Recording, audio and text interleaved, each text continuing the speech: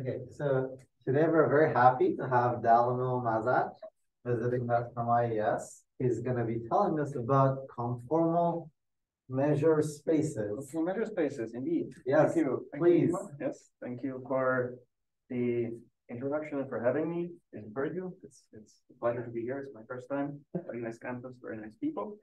And yeah, I'll be talking about some work in progress in collaboration between Bonifacio, Peter Crabtree, and Fred which is kind of the border between physics, mathematical physics, and mathematics.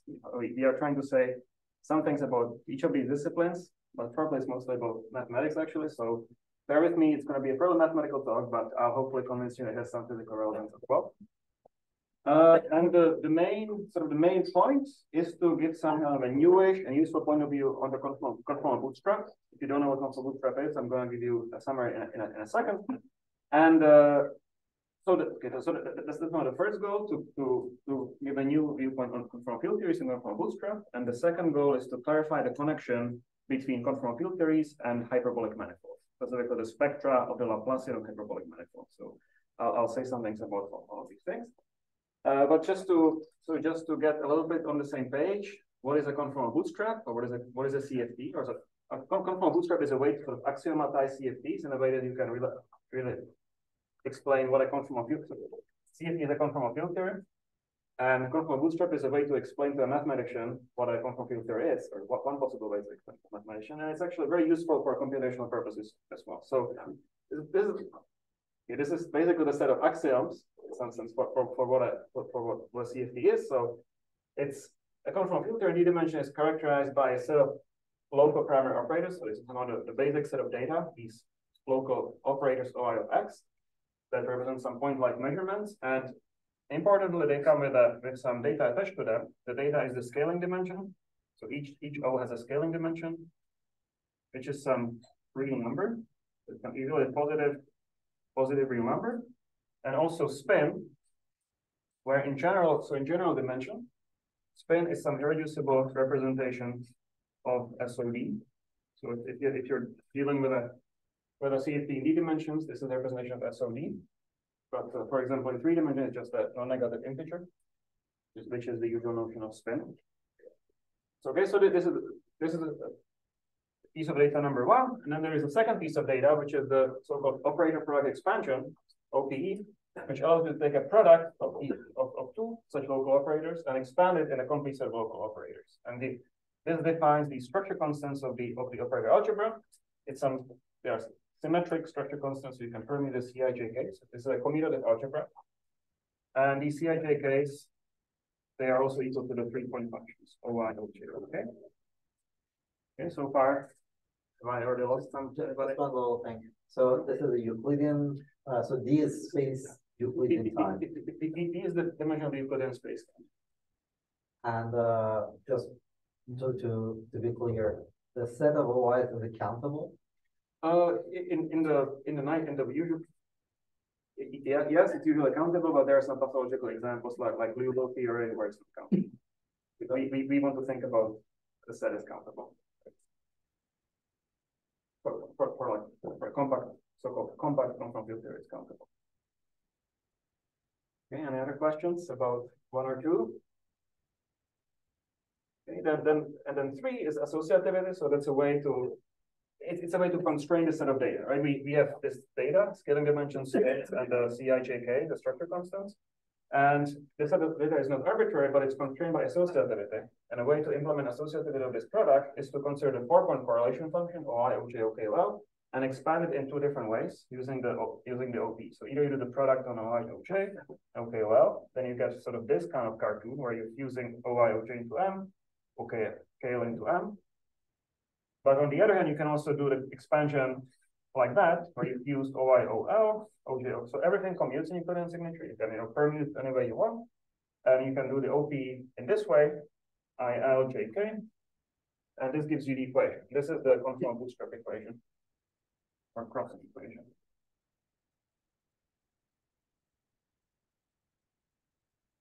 It, it, it, it's, it's called it's called bootstrap essentially because you're you're you seem to be getting something out of nothing. It's just like, like imposing some very general physical principles like conformal invariance and unitarity. You're getting some non-trivial information. That's why it's called a bootstrap. And it, the equation takes the following form. So it's kind of bilinear in the C's because you get a C for each of these vertices.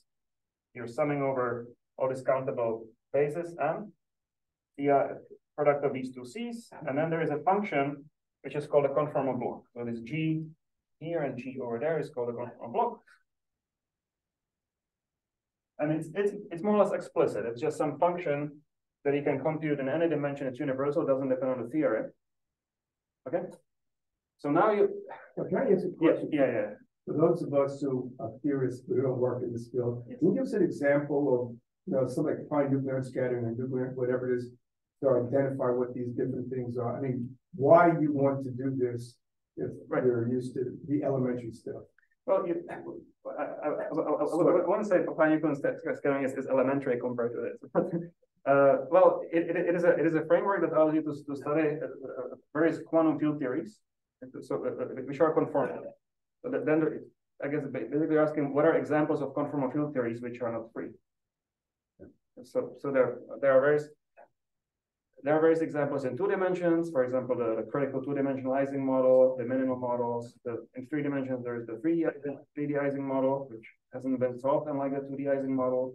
And there's there's a whole zoo of uh, interacting conformal field theories. In four dimensions, there are there are these there are conformal gauge theories. So if you if you start increasing the number of number of quarks, you, you get into the conformal window, and that defines that defines for your conformal field theory. But so, uh, the standard model is not a conformal field. Right, also, th- this is one thing, did you really mean that, it's true that you plan, uh, space everything can use, but did, did you really mean that you could arbitrarily use them, because there are domain of convergence? Yeah, yeah, yeah. That, that, that- that's right. So the, the- these, this, uh, these equations converge basically everywhere except for a set of zero measure in the set of, this, there are some very special configurations of the four points where it doesn't converge. but- Good, question. Okay, but, so somehow the, the dream that has become, that is becoming with more and more of a reality over the last decade is that these equations may actually be enough to solve CFTs or completely characterize conformal field theory. So for example, you could hope people have made progress towards solving the 3D Ising model, which is a very hard problem in, in theoretical physics, using just these equations, not, nothing more. So, you know, one, one dream would be to try to uh, solve the 3D Ising model starting from this and nothing else. Or ju just try to prove that that somehow these constraints are sufficient to characterize CFTs. There, there are like no other solutions except for CFTs.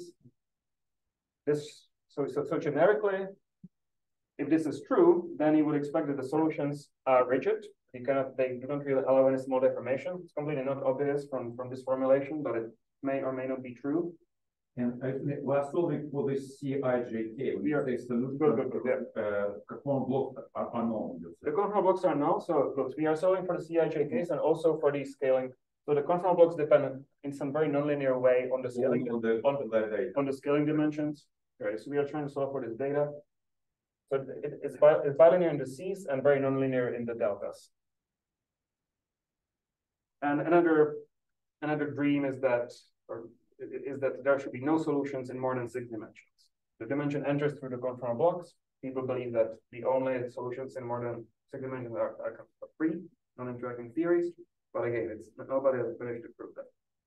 So that has been proved for super conformal. theory. Yeah, yeah, yeah. For superconformal, it's kind of trivial because there are no, well, it's not trivial, but there are just no superconformal even, there's not even symmetry in more than six dimensions that would accommodate for it. So the, the, the- sort of the current status, for example, for the three D Ising model is that the three D Ising CFT is like an iso, well, it, it is a part of an island that's allowed by these solutions, by, by these equations, but the island doesn't really shrink all the way to a point unless you start using more and more of these four point functions. Some of the the main issue, in my opinion, is that we don't really have any explicit examples of solutions in more than two dimensions. And we believe that there are these CFTs that exist, like the conformal gauge theories in 4D or the model in 3D or O(N) models. But you know, we cannot really we don't have any machine that would, output the data to solve these equations. If you just take some random set of C's and random set of deltas, there's no chance it's gonna solve it. So so Today, I'd somehow like to take a slightly opposite approach to what usually people do in the bootstrap. What people in the bootstrap is that they impose these equations and prove bounds on the, on the data.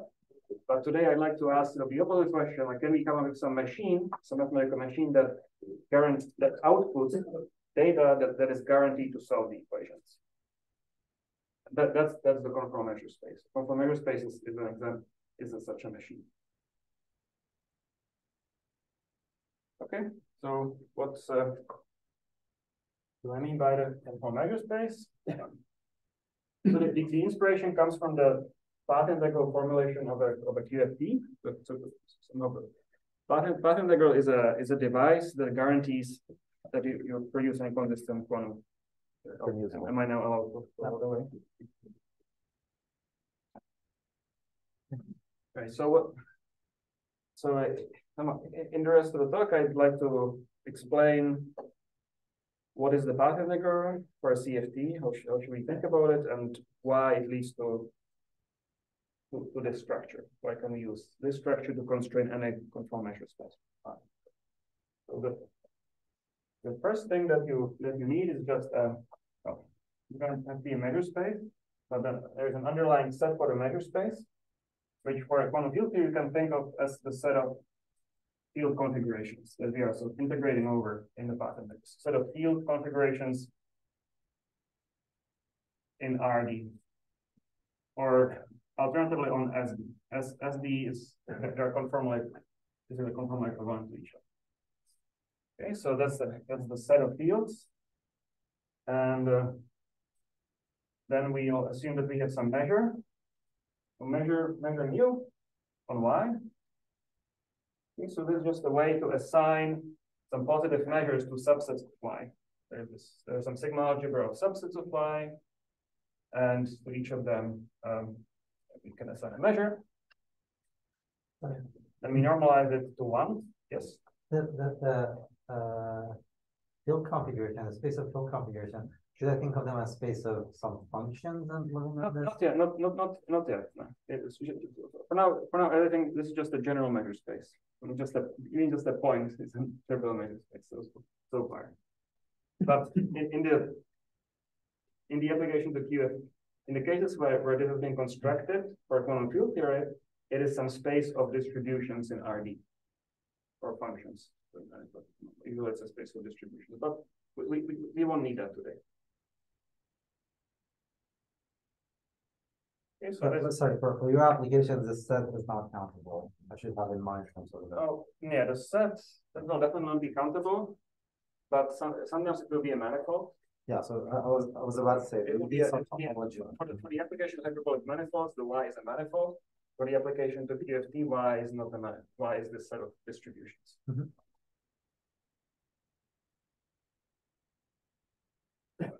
Okay, so, so in particular, you can have an, you can think of now observables.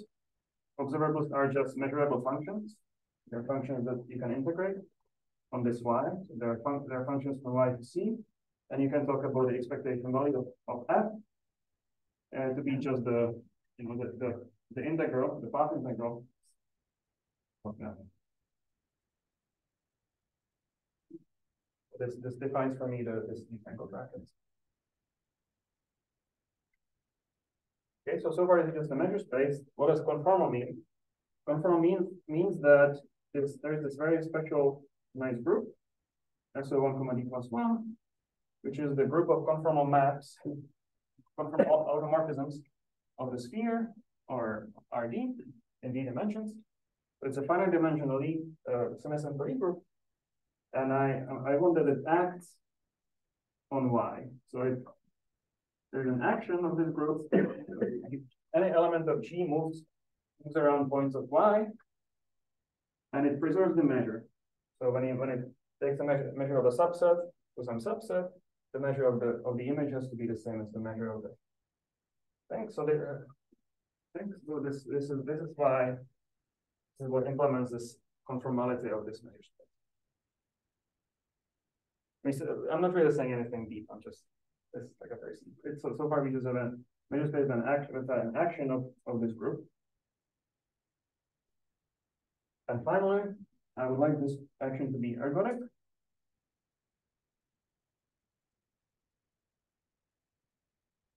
And er- ergodic basically means that it, that if the, this action explores the whole space in some sense, the whole, whole space Y. Be more precise. Ergodic is a statement that you have a measurable subset of Y, which is G invariant. It's G invariant. Then, then the measure of Y is either zero or the full measure. Full measure is one. It's normalizing one. Okay, so basically, basically, sorry, Y prime. The action is irreducible. Hmm? The action is irreducible. The action is irreducible, There's no subset on Y that's preserved under the action. right? irreducible. It, well, it's, Yeah, okay. it's er- ergodic, actually.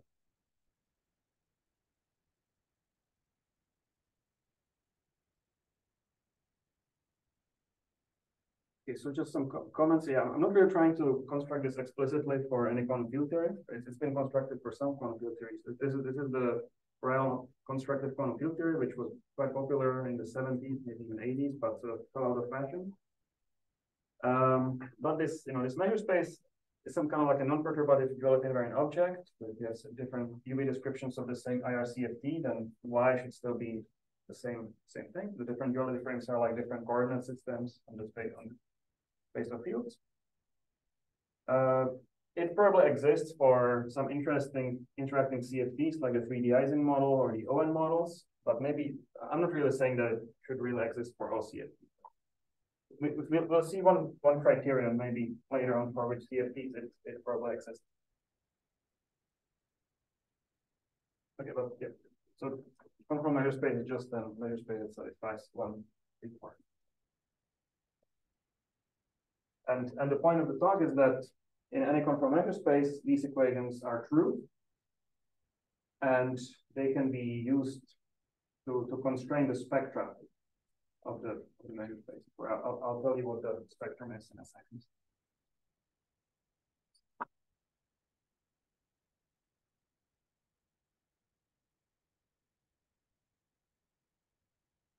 One, one- one, I think maybe the most interesting thing that came out of our, our work is that there are simple examples. There are simple examples of measure spaces which come from hyperbolic manifolds. That, that part is not new.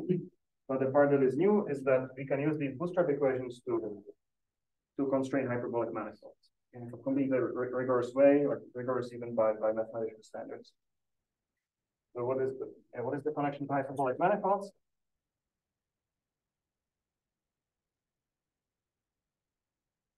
Well, the simplest hyperbolic manifold is the, is the hyperbolic space. So for me, it's gonna be D plus one. D plus one dimensional hyperbolic, say, upper half, upper half space. Uh, and, and G, so now this group, and so one comma D plus one acts on this by isometries. And to, to build a hyperbolic manifold, you pick some discrete subgroup gamma of G. So gamma is some discrete subgroup. And you consider this quotient.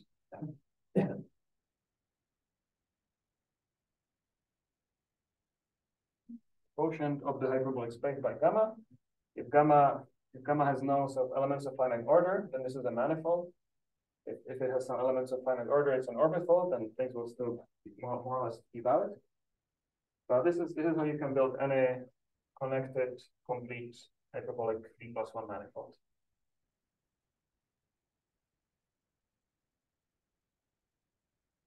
Because you've done this quotient, the group no longer acts on M. So uh, by the, by the quotient, you, you've broken the, the isometries. Right? There's there's?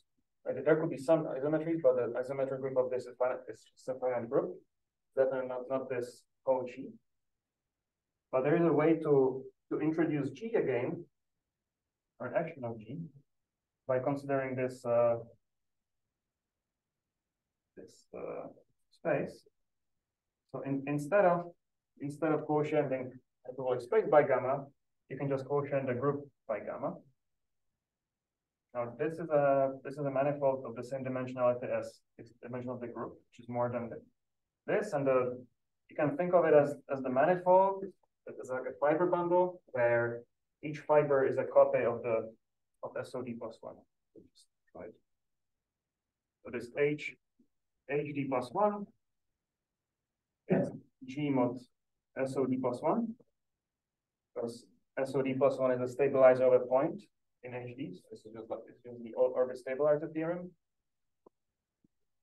So so you can, you can build this picture. You start with G, you quotient on the left, you get our space Y. Quotient on the right by SOD plus one. You just get the hyperbolic space. And if you quotient by both, so on the left by gamma and on the right by SOD plus one, this is the manifold. So, so this guy is the manif is a is a fiber bundle where over the manifold where each fiber is a copy of the SOD plus one. Do you mind giving, going through the example of the two D CFT, so you have three hyperbolic space, which is like Euclidean ADS, right? Uh, in Poincare patch. You take a discrete subgroup of it, you quotient by that, yeah, so those are like some sort of Euclidean manifolds that come up in three-dimensional gravity. What is this G mod gamma, or quotient gamma? Of quotient, This, yeah, in that, in this example, um, well, it's it's a quotient of the of the- what we call Euclidean ADS. It, it doesn't really play a role in ADS. I mean, I, I don't know what the connection to ADS CFT is. It's no, no, I'm not, I'm not, yeah. yeah. So it Quotient, yeah, I mean, this it- is that one, right? The, the, the simplest example is D equals one, but we, we can do D equals two. Okay, yeah, sure. The simplest example is D equals one, where this is a hyperbolic two, hyperbolic upper half plane. Then this is some, some Riemann surface with the, with the hyperbolic metric. Um, the, the, the stabilizer at a point in hyperbolic space is SO2, the rotations. Mhm. It's especially transparent in the unit disk picture. A- and, you know, that this, this Y is a fiber bundle, it's like a circle bundle over, over the Riemann surface, the Riemann surface. And at, every, around, at point, every point is attached a copy of SO2. This, this SO2. So it's some, and, and this picture you can also think of as a quotient of the ADS three. So it's a three, it's a three dimensional manner, right? Because you have a Riemann surface with a circle at every point. It's a three manifold, which you can think of as a quotient of ADS three. The, the, the, point uh, of introducing this space is to put the symmetry back in. Like the Riemann surface has no symmetry, but this this space has the right multiplication by G. That's- the, sorry, I should have said that. That's the main point, that you can right multiply by G. So Y is a Y is a conformal measure space. G, G now acts on Y and U is the Haar measure. It's it's also ergodic because the action is transitive. This three-dimensional geometry you give an example, of, this is relevant for zero plus one.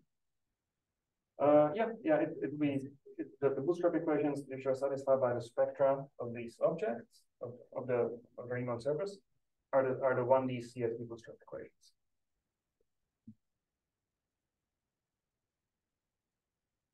You want like finite co-volume for the gamma, so you have a probability that. Good, good, good, yeah, good point, yeah, so this, if I want this, which I think I want usually, but you can, you can also relax if you want. If you want that, then you, you want to find out. And do you care if you get cusps or anything when you quotient or Um, no, compact manifold? The, the kind of bounds that we derive are more effective for the compact cases. But they, the kind of identities, the bootstrap equation, they also apply to the non-compact cases, which is that we haven't really been able to use them for anything interesting.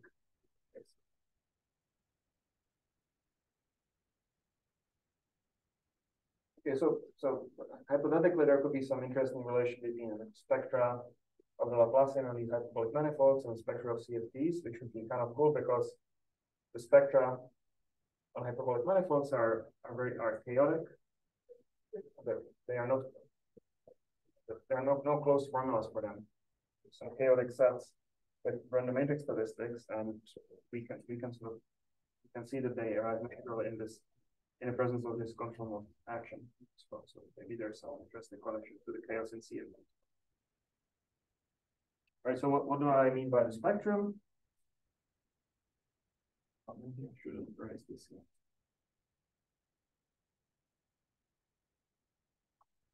Okay, so from, from now on, most of what I'm going to say applies to all conformal measure spaces, whether or not they arise from CFTs from hyperbolic manifolds.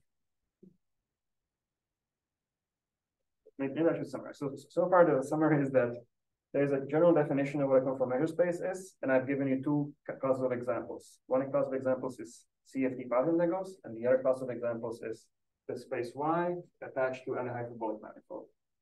This is a much simpler thing than the space a CFT, is a finite dimensional manifold.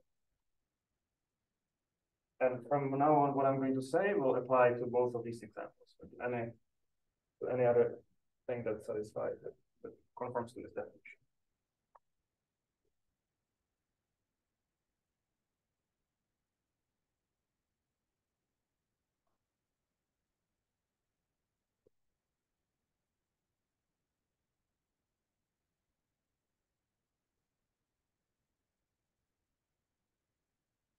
So spectrum spectrum of a measure space.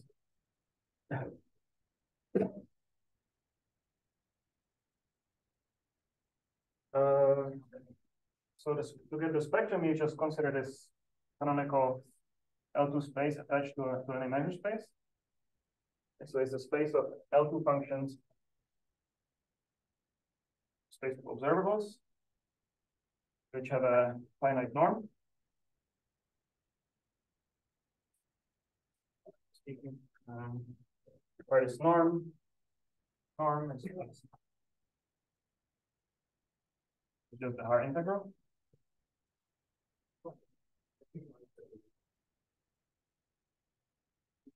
Sorry, I'm, I'm kind of lost. So I should think of Y as particular field configuration. Why, why is this, is the space of all field configurations? Yeah, but like, uh, when you write. f Oh, oh, sorry, the small one, yeah, yeah, yeah, yeah. Small one, So that's a particular field configuration. For instance, I can think of it as a function on my space, Euclidean space, is that right? Or should I? um, And. Yep.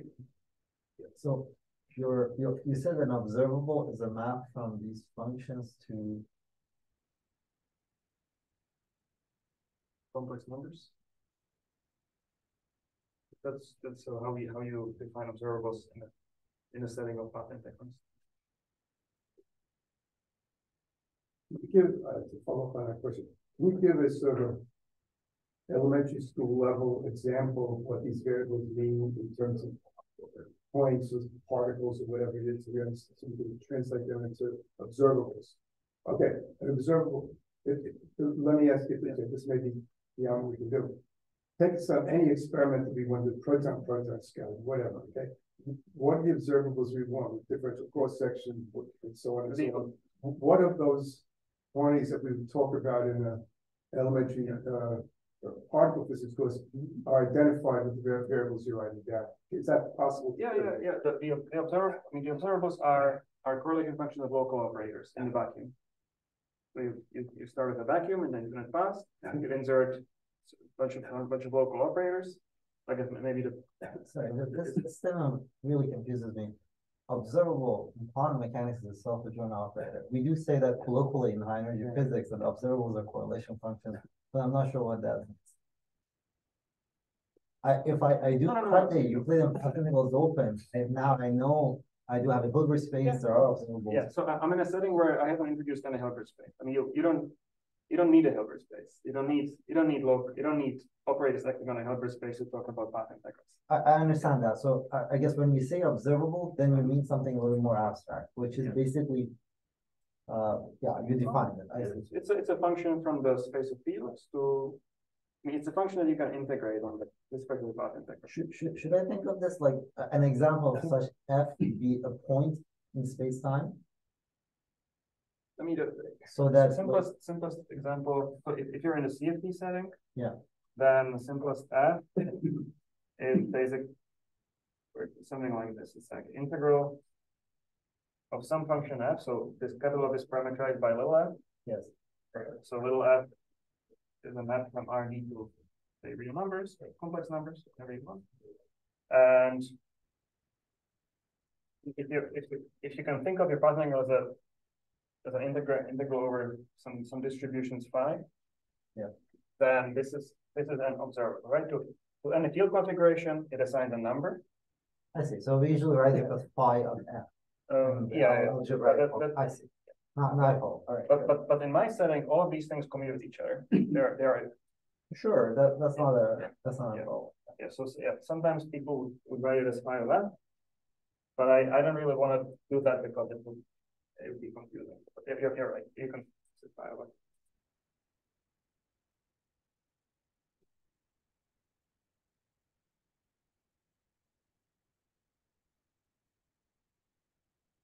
And uh, now what is the spectrum? Or the spec, the, the point is that for a conformal measure space, this is a unit representation of this is vector space. Or Hilbert, so the- these are Hilbert space, but it's it's not the Hilbert space of the quantum field theory. It's it's a different Hilbert space. V is a unit representation of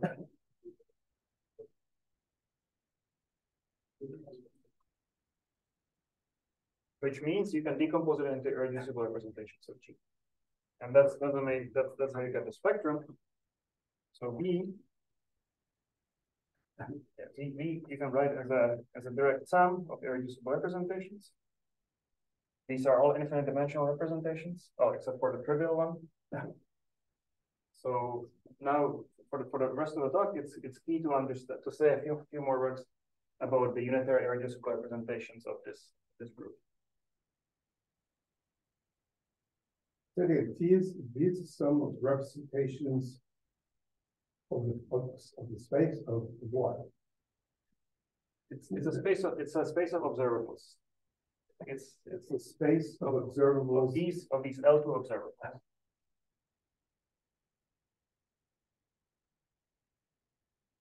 Yeah, so for- for, if, for example, these observables, mm-hmm.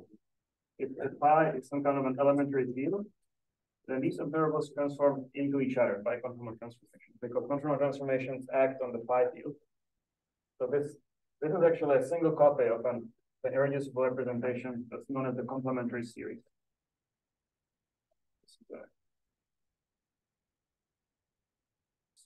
Okay, so good. Suppose you, you've written down that integral.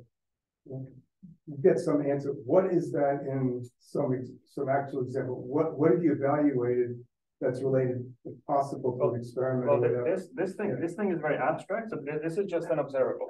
What you, what you want, what you're asking for are expectation values of observables.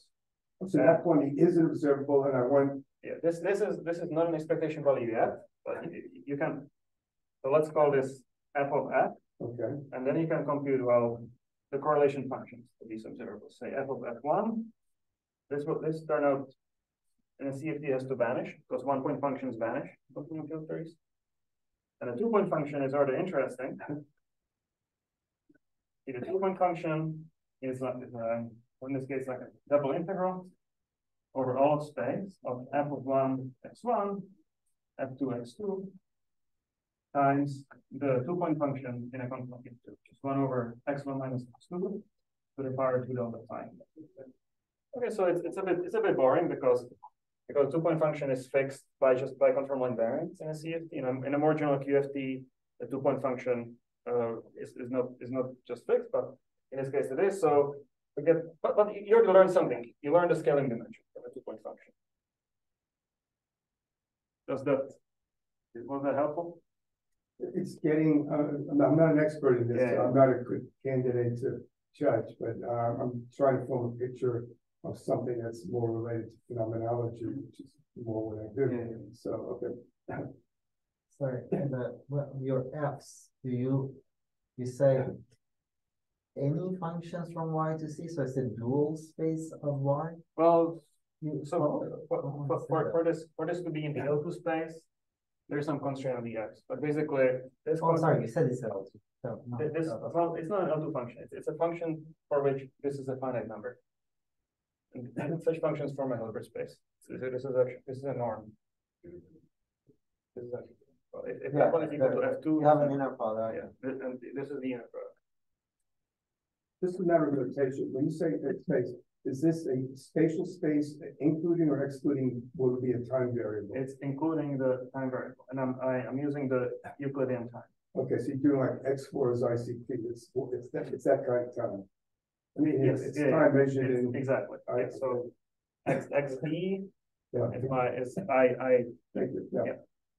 So al- also your norm is defined using that measure, so it has a carries the index mu, right?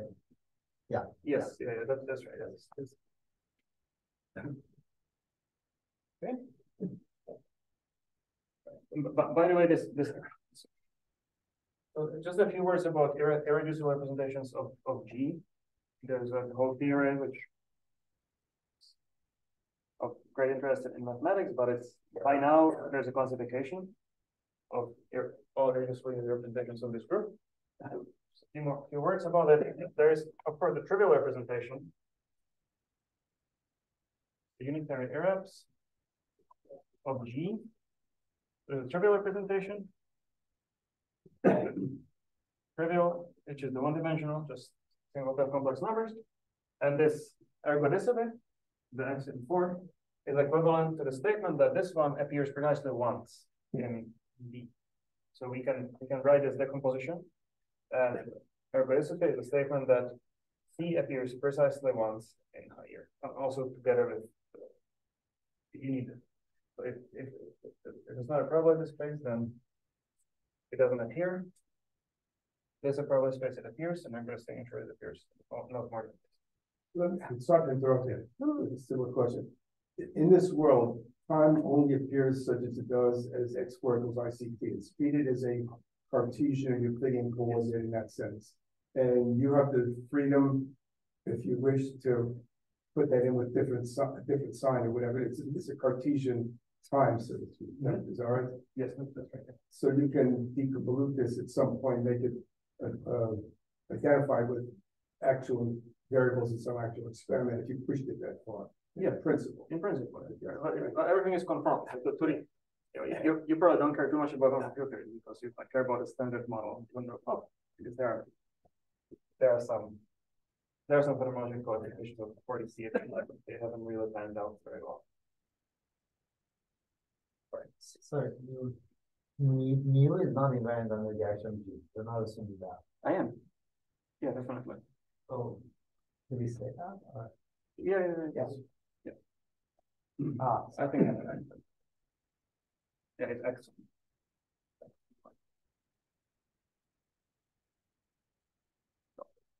It, yeah, I didn't say. I'm but it's a unique one, right? It's a unique measure. Isn't that? It's a part of the, it's part of the definition, I mean. You mean, given, are you asking, given Y, is there a unique sigma algebra and mu such that there is an action of G on it? I mean, maybe for some Y to be true, but. I, I don't really want to talk about specific. Okay, I see.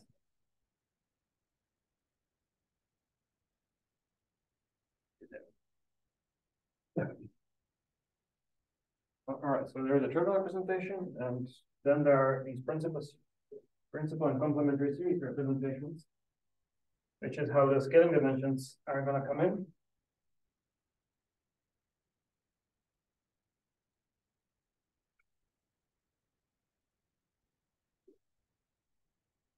All right, so the the most important class of unitary irreps of G is the principal and complementary series. And these, these are labeled. These are labeled by the same set of data as local primary operators in a conformal field theory. So they're labeled by scaling dimension and spin. Where scaling dimension is some complex number, and spin is an irrep of SOD. And you can realize these P's as a space of, a space of functions in RD. So you can, uh, can real, this small f is the same as the small f wrote before. This is functions on the, I think I should write RD. To be completely precise, I should write the d-dimensional sphere, so I'm imagining doing the stereographic projection, RD to SD. So I include point and infinity. So it's a space of maps, some maps from the sphere to this. Maybe I should call it V rho. Oh, that's, that's fine. So, so the V, V of rho is the, you know, is the finite dimensional vector space, which the underlying vector space, what is earliest of representation. And uh, then how does how does G act? What, what I'm going to tell you is how does the group act on this F? So we need to make some conformal transformation. It sends the F, this function, I'm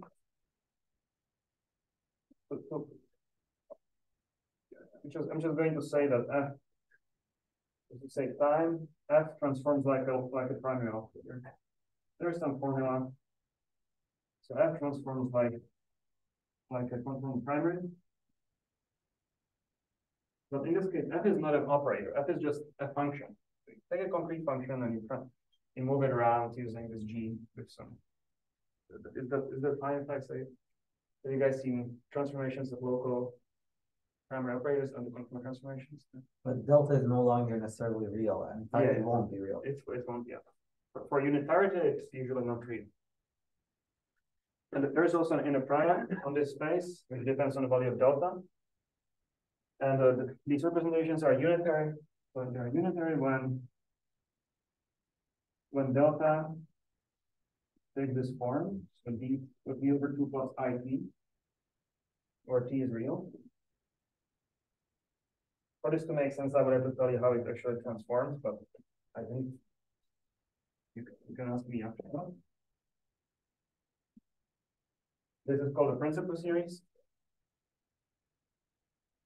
And in this case, the inner product on X is just the L2 inner product on RD or on the round sphere. Or alternatively, delta is is real and in the interval from zero to d over two. And in, in that case, the inner product is the one given by this form, this, this form. You can see that when delta is less than d over two, this integral converges. So the the singularity here is is, is not very strong. This it just goes like one over r to the d, something less than d, which means it's an integrable singularity. And that's related to the fact that these representations are unitary between zero and d over two.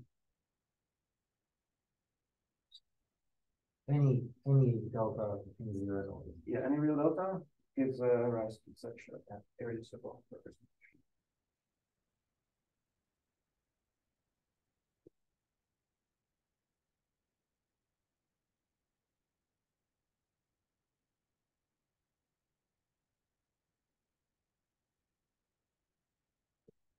Okay, so and the, in the rest of the talk, I, I'm, my goal would be to derive the bootstrap equations that were on the, on this, on the board at the beginning, but I won't have probably much time to do that. So let me just give you the main ingredients. So the picture is that we have a measure space, and now there's a way to constrain the, the spectrum. To, to, to, any, to any measure space, you decompose the V into irreducible representations, and you get some set of deltas and rows, right? So that's the spectrum. Spectrum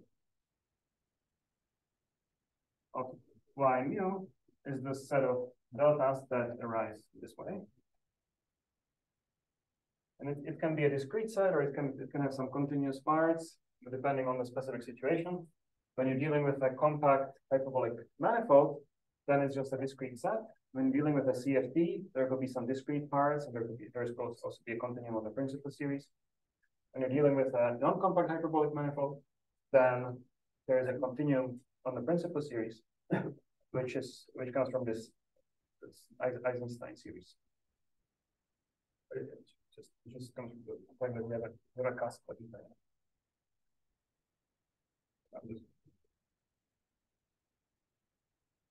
Right.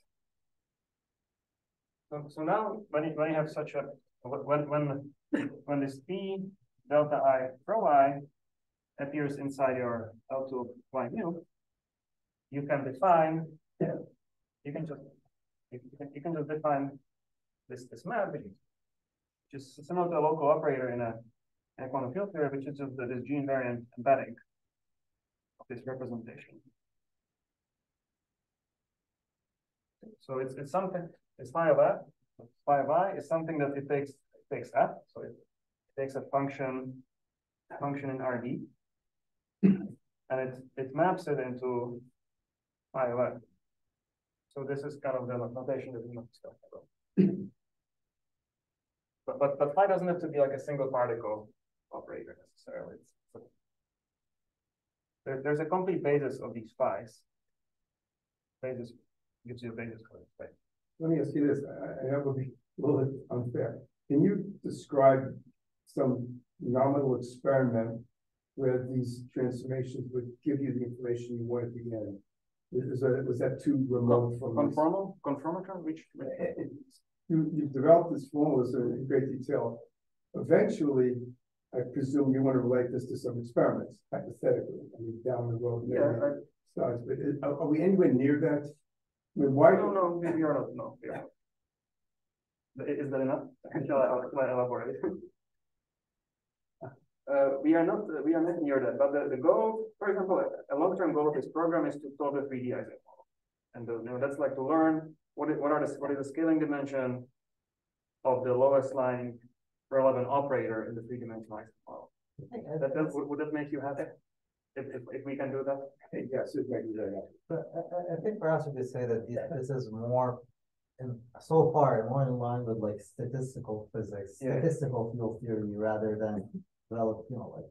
No, no, no, I understand, but my, my roommate, when I was an office man, was the first postdoc, did i Ising model, diamond record, did all of these kinds of things. I'm familiar with the language. I just want to understand some, sometimes if, if it, it- it's, I'm obviously not in this, but if you, if you could say, here's a, here's a physics problem, okay? And we're gonna go through all the stuff because at the end, this makes it easy to understand how to deal with whatever it's a different dimensional Ising model, whatever you want.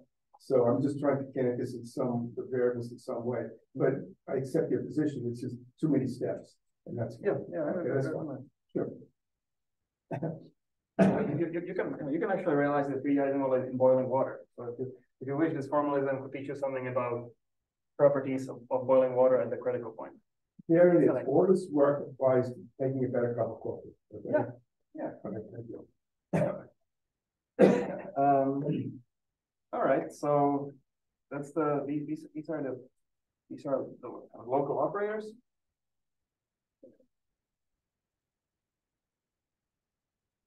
Uh, So you, you already specialize to unitary, you assume the unitary, you're specialized to unitary. Actually, actually, no, uh, this is a different unitarity. This the unitarity for the the Euclidean conformal group, which is always there if you have a measure space. It's more general in some sense than reflection positivity. So if you if unitarity in Lorentzian signature is reflection positivity, Sure, and that's a that's a very different constraint. It, it, it doesn't appear here. So so you get what's the physics of this unitarity? it, it's just it's the positivity of the Path-integral measure. Ah, It, it hasn't it hasn't been it's It's like not a a constraint, it's just sanity. It's a, it's a well, it's a constraint, it's, it's, it's a measure, measure positive. Well, yeah, but there, there's, there are CFTs which don't have that property, like for example, the Lee-Yang model. There, there, are the CFTs that have like complex numbers in the, in the Lagrangian. For that, the Path-integral measure is not a positive field thing. So this,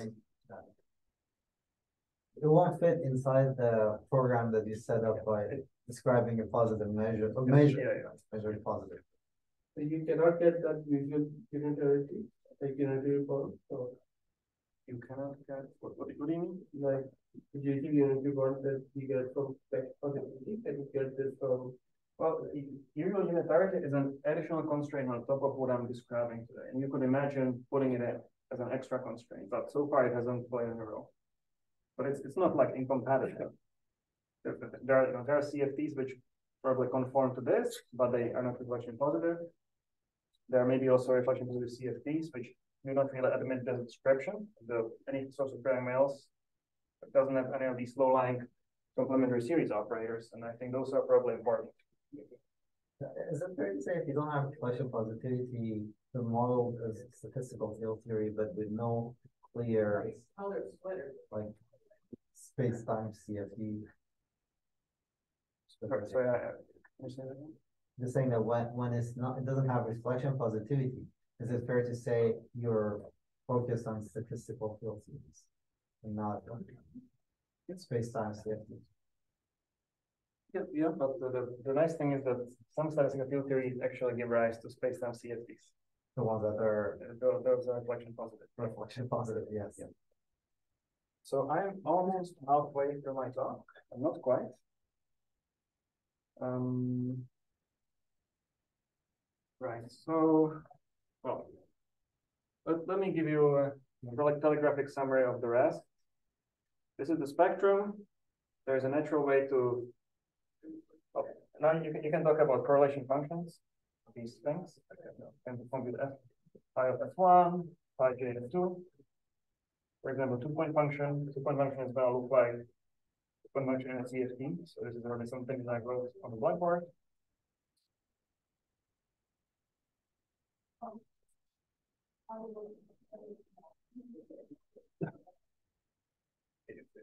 For a scalar case. And you can also talk about three-point functions. So when you do, when you do three of them, i, j, k, this defines for you the Cij structure constants. So now it's gonna be a triple integral. Oh, it's a triple integral, again, something that's also fixed by control invariant. So the, the, the key, the key property is that for these representations,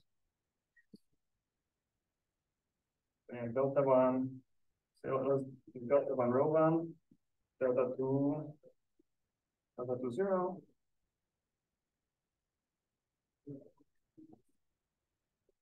For the for the mathematician in the audience, the, the key property that using is that these representations have a unique bilinear functional on them, like a unique invariant. And I ask him, what is the space of invariant maps from this product of of smooth vectors in these triplet representations? It's one dimensional. That, that defines for me the CIJK. So for, for any ijk, there is some structure, which is sort of independent of the specific measure space, it just corresponds to this unique map times the overall number, and the overall number is the Cijk, which does depend on the specific measure space. And the choice of ijk. This, this is, this is just a different way of saying that the three-point functions are fixed by control invariants in. And, and the C, the same Cij case also appear when you do this, right? Now, now you can multiply observables. So you can take phi of phi i f1, phi j f2. This is an observable. And if it's when it's L2, you can decompose it into the complete set of observables in your in your Hilbert space. And this defines for you the OP.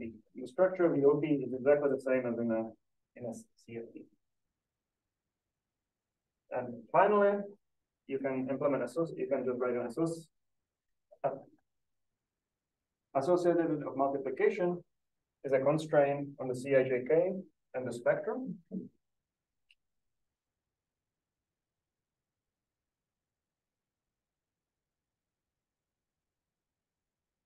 So associated they will look like that.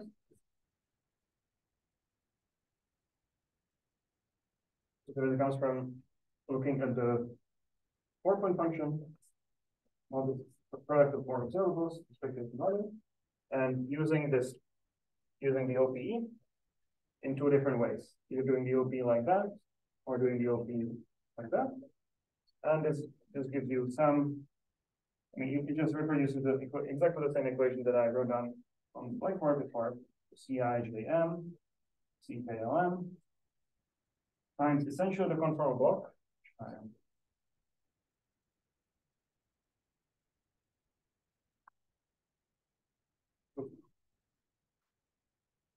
I, L, M, C, one, M. So for each IJKL, you get some infinite set of constraints because, because the space of Fs is infinite dimensional. So you, you can sort of, yeah, but by, by varying this, these, these, four functions, you can get infinite many constraints for each fixed IJKL, and there are also infinite measures of the IJKLs themselves. It's a very complicated set of constraints to the spectral data. And uh, um, of short on time, so let me just show you some results. So, okay, now what, what have we done so far? We find conformal measure space, and for each such conformal measure space, there is a spectrum of deltas and CIJKs, and the spectral data needs to satisfy some constraints. Okay. Maybe this sort of this sort of constraint is is, is like necessary and sufficient. I'm not really sure. It'd be interesting to talk to talk about it whether this actually uniquely characterizes measure spaces these constraints. But now, now let's apply these ideas to the example of hyperbolic manifolds. In that case, this. So uh, can I ask yeah. a basic question? Yeah. So this conformal block, how do you see it depends on x? Uh, so, good, good, good. Yeah. We realize this thing is not really equal to that, but is equal to that, to integral of this against the f1, f2, uh -huh. f3, f4. Okay. So this depends on x1, x2, x3, x4. You multiply against these four test functions and integrate. So okay, it's like a, like a bootstrap equation integrated against four test functions. okay, I see. Okay, so now let's, let's apply this to hyperbolic manifolds. And we, we, we- wrote a paper last year, two years ago, where we did the two-dimensional hyperbolic manifolds and got some nice bounds on spectrum of Laplacian. But I don't really want to talk about that now. The, I want to show you some new results, which is related to hyperbolic three manifolds. Where, so hyperbolic three manifolds is the case d equal two. And there, rho is a representation of SO2. So it is a, it's a, it's an integer, integer which is, which you can call spin.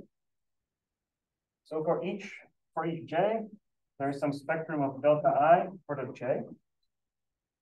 For j equals zero, the spectrum of delta i is related to spectrum of the Laplacian on the hyperbolic. So the, the Laplacian eigenvalue is like delta times two minus delta.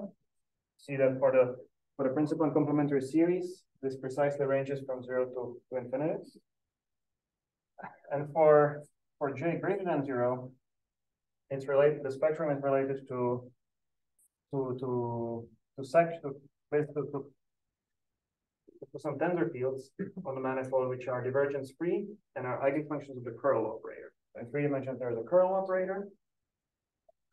It, it, it's basically some something like it's basically a spectrum of the Laplacian, not on scalar functions, but on vector fields and tensor fields and so on, where the, the rank is controlled by J. So we have this theta, lambda i zero, which are the scalar la- lambdas, and the spinning lambda, spinning lambdas for, for tensor field. And using this, these, these constraints, you can set up some linear programs and prove bounds. For various bounds in the space of lambdas. So the, the thing that I'm, I'm going to show you now is the, is the following. is the following plot. Let me. So one thing you can do is uh, to prove an upper bound on the lambda one at spin two as a function of lambda one at spin one. La- Lambda one is the lowest, is the lowest eigenvalue for a given chain. Yes. So, by, by, by studying this four-point function where the fi corresponds to the lowest lowest uh, j equals one eigenfunction because an of constraint, and these things will become squares. There's some positivity that's being exploited. And you can show, you can show these constraints can only be satisfied if, if there is a, if, if lambda one two satisfies an upper bound. So everything above the upper bound is excluded. And now if you can rotate.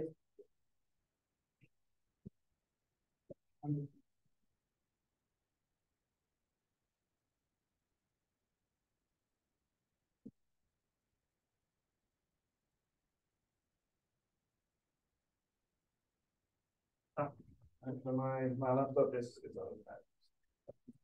It's, Can I, can I get the charger? Yes. I think. It was, it was almost full and I have it on the, in the. The screen was on for the whole time.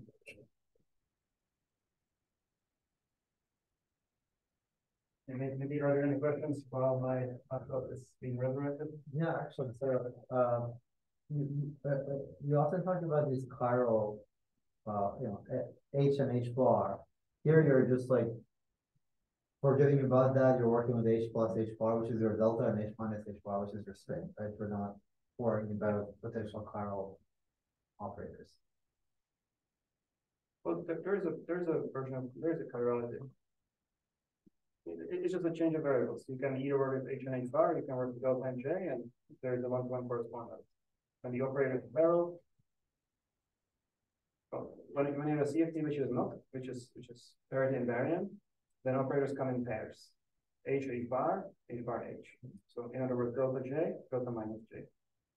Here, uh, this is also, okay, and if, the CFT is not chiral, then there could be a delta J without the delta minus J. And that's also true here. So there are the hyperbolic three manifolds, which are not chiral, that have an inversion symmetry, and there these eigenvalues always appear in pairs, delta J. But in fact, the, the smallest hyperbolic manifold is chiral, the Weeks manifold. I have another question.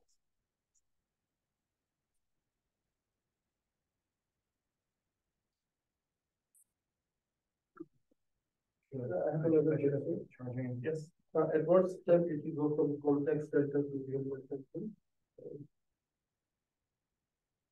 Um, yeah, good. So the, some, some subset of these deltas is real, it's, uh, And you press power again. Oh, I think it doesn't want to work now. whoops, Uh, I think the problem is my, my laptop is just, no, I think I did something wrong. No, no, Nim, Nim, Nim, Nim secretly uh, destroyed the, the projector and. It should blink green. It should, I, I. I said it blinks yellow. Ah, there we go. No, no, no, not yet. Now now it's good, yeah. Oops, so, uh, it will show that, uh, very, very don't that here.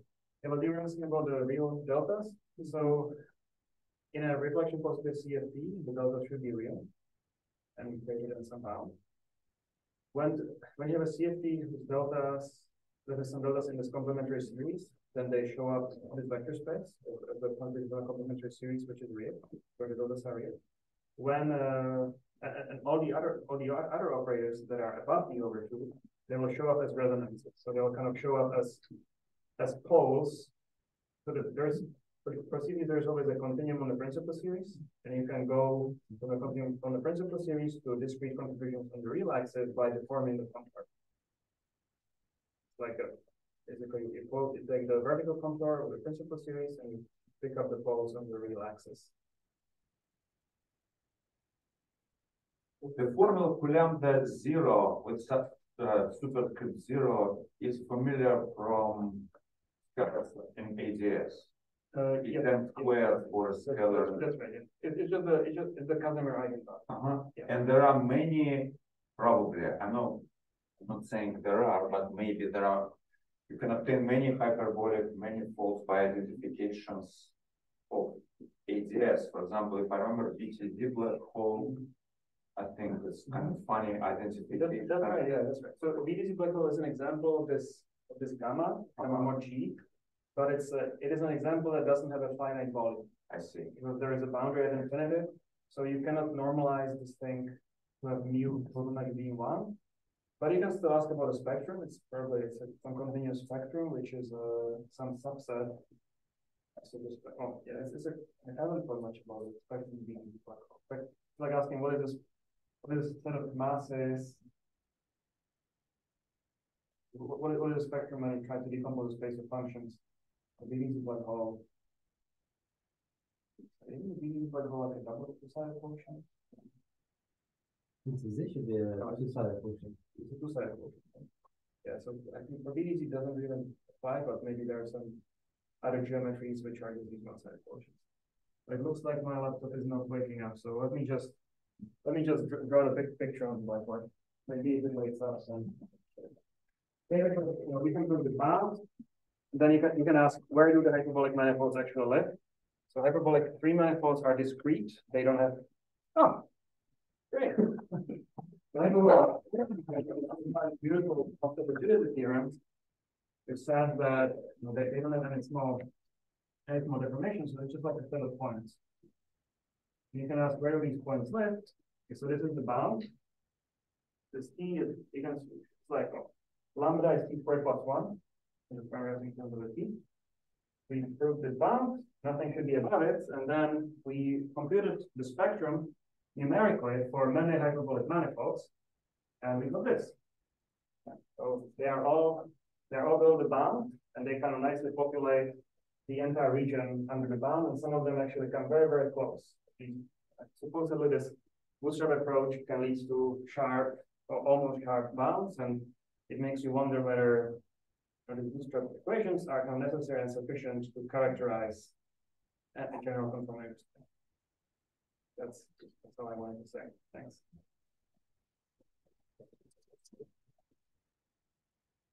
So which, which crossing was, uh, that one that you checked, you you definitely said it, uh, It's a, so to, to derive this bound, we use crossing of one four-point function, which is the four-point function for the identical operators.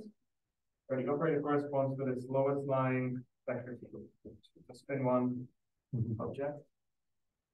And we are putting an upper bound on the, focal functions of the same operator. of this, of the same operator. But it's, it's- an infinite set of constraints because each, each of these subunits is infinite dimensional, so that there's some kind of optimization over this infinite dimensional vector space that, that we use to get optimal bound.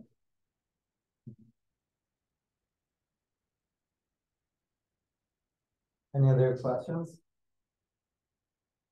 I probably have some conclusions which I feel, but it's okay. I have already more than seven minutes.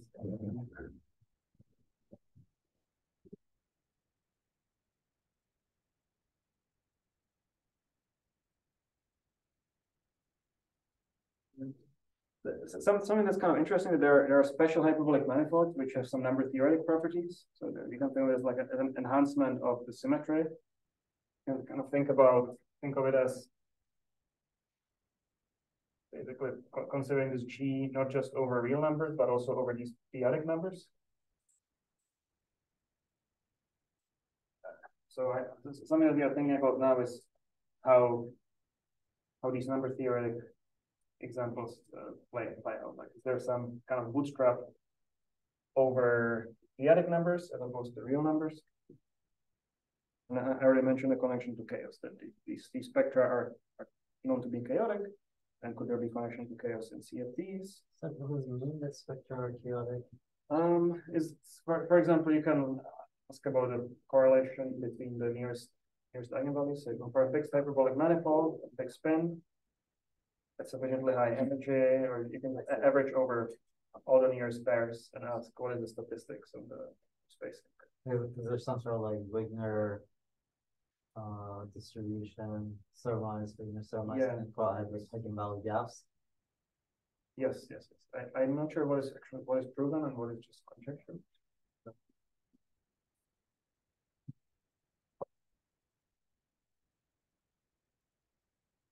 Any other questions? Um, Is it clear that you can only get like bond between lambda one, one, lambda one, two? Not like lambda one, like, why you can't get a bond with lambda one, zero? Uh, we, we can, but it's, it's not as impressive as these pictures. I didn't, I didn't show it there. Yeah, we, uh, this is somehow the only, the only situation that we found where the bound is, is sharp or nearly sharp. For the, for the other cases, the bound is true for all the hyperbolic manifolds we were able to compute. But there, there is always some pretty big gap Yeah, I, I could have, I could have included it.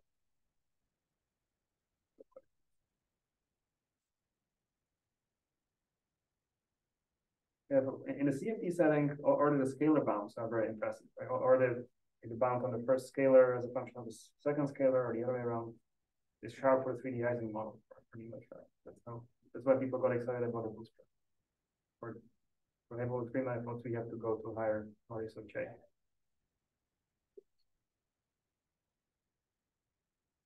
Uh, this one, this might have actually be somewhat vague, but I'm sort of confused about the connection between, you presented it in a way that you were saying that whatever you say, so the, the, the, the language of OPE coefficients and, uh, um, OPE coefficients and conformal dimensions is a standard story that we're all told, and the path integral picture is not quite what we usually describe, use the language we usually use to describe CFTs, but you, you, you sort of said that these two pictures are complementary. Now, the thing that confuses me is that there's also this lore, which I'm not an expert on, that people say not every, uh, not every quantum field theory should will have a Lagrangian action principle. So there are often, that, that sometimes has to do with the existence of constraints. But here, yeah, what is, it? what's the judgment call here? What's the lore here? So I think the, the issue of existence of this measure space is not, it's not the same issue as the existence of an action or, or a, a Lagrangian, because action is something that you use to go from a classical theory to a quantum theory. And when people say that some quantum theories don't really have a Lagrangian, they just mean that they don't arise from quantization of the classical theory. But, but here there is no classical theory, like this, this measure space is the quant, is the, the quantum object. You know, the, the measure, the measure is not always e to the minus s times some nice measure or, on, on, space of functions. You, you, you- am I making sense? Like, you, you shouldn't, you shouldn't think of this as like a classical thing. I, I guess what, what, another way of saying is that like, that, that, it's not quite clear to me that there should always, there will always be a measure, measurable space. It's, yeah, that's, that's not, I, I completely agree. The, the picture that, that you're, you're advocating in CFTs is I'm ought to be, Um, I think that in CFTs that admit these complementary series operators, there you, then it's true. But then, then you can, you can sort of build this V by starting the complementary series operator and taking products more and more and more of them. Then you can so build all of the observables this way. So for example, for the three Ising model or the O(N) models, there are always these light fields.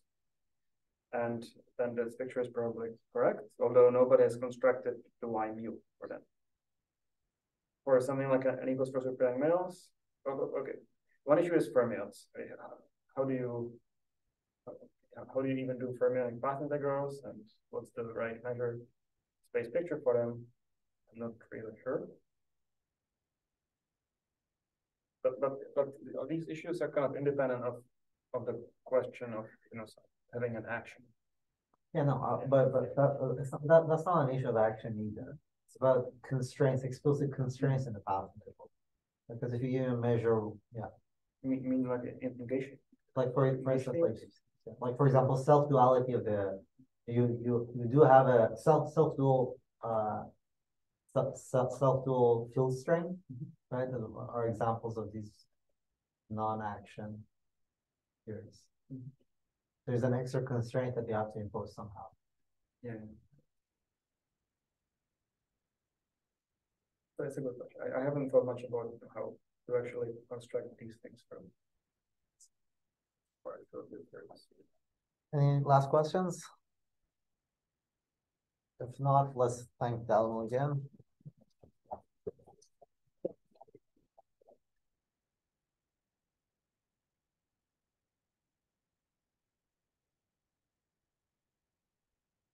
But there's like, well, we're, we're gonna discuss this in a lot more detail. Uh, yeah. This, this approach It's very similar. somehow. It's very similar in structure to what we do in op- corporate outreach, but there's some, uh, the way. Yeah, I- I uh, was very much Because we to sort of start with the space of F. Measure space. Then Um, like and the- then review the field, I- config- what you call field configurations or the dual space. Basically, um, what, Of course, if you take the dual space, so, for example, the space and functions are gonna be Uh, very nice. classified as Infinitely differentiable and also exponentially. Uh, The dual you space would- of that is so going to be large, it's gonna be tempered. SO, They're the max uh, compact Now- side, Mhm. some restricted representation there. If you take the space, the dual space of tempered so that thing is wild. Like the, I just decompose. So you start with this, the and then you look the functions from the, uh, space of field to something else, but you don't take all functions. I see. Instead, you want to Oh, two, is for SO. right? Well, I mean, when you look at SO one, Which I guess is okay because you, you can you really you think start about with, that. get a, a on is a rotation. space of this. a singular rotation, right? Yeah. It's a rotation. Um, Yeah. so here, I guess there's no, Understand. there's no- From yeah, I see. an but this is, this is not like a, it's just like a irrev- change of your perspective. Not fundamental. Oh. But that, that's Oh, something that was I pretty see, I see, confusing. okay, okay. Oh, now I see, okay, that's very, yeah. Okay. Yeah. Um, that's very. What is I see.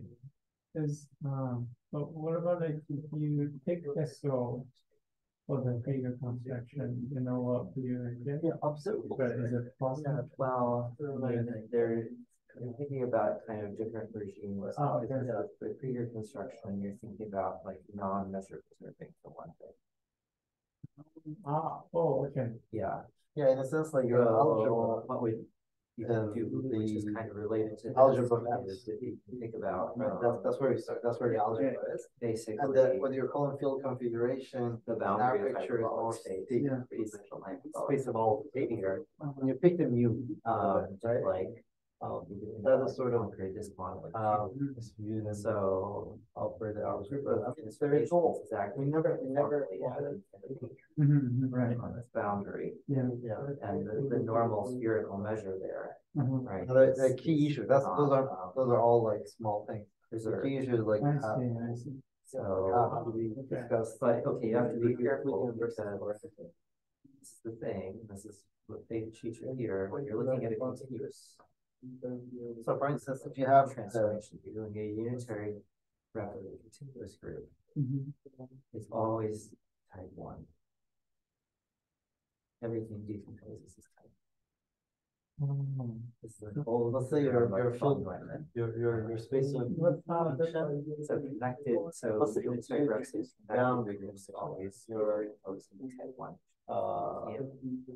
Euclidean space, Yeah. right? So you have boundaries. Okay, okay. Mm-hmm. You can't really get it to. Now you, yeah, how- what would you say? Actually? like the last. Let's say you repeat everything you said, right, in the presence of a single Construction. right? So your can't is actually Actually, where was your I'm kind of confused. Where was your manifold? Those actions are all type three. Your your space, yeah. There, there were two, there were some two spaces which were not really to each. One was the the manifold or this Y, and the other one was the underneath. This one is. RD is the one I'm talking about, right? Can you do it like on remember, like RD Takesaki to. below that? Where it's the. How less than zero? Okay. What happens if you do that? Yeah, it's, it's just a zero on like. I mean, how- how would it, how would you ever get, it's just set up in here? Every, everything is. type one. Um, uh, Yeah. I was discussing with David, some of that, and just kind of, you get, get a pretty good idea of how to do that. Does it not have to be planning um, or? It's just, okay. connected. Well, yeah. connected, So choosing this, Locally compact connected. Mm-hmm. choosing, choosing this boundary kind of corresponds to breaking the conformal group to a subgroup. Yeah, very good. From S O one comma D plus one, to say S O one comma That's if you pick a very nice boundary. Yeah, see. If you, yeah, if you have a conformal boundary. Yes. And there, you can do something similar, you can do something similar to hyperbolic manifold, which does the same thing, which is picking, uh, submanifold, I think it's geodesic submanifold, I think. It works. If you had a, if you're in a two dimensional, if one, so you have some Riemann surface, you can look at geodesic. And there's a there's, an SO one comma one. Acting on the geodesic, and I think you basically, you, you, you can. You can kind of repeat, you pretty much repeat what I said. But now thinking about functions. So there, there are- some natural operations you can do. You can take an eigenfunction of Laplacian with the under Riemann surface and restrict it to the operation of restriction with the geodesic.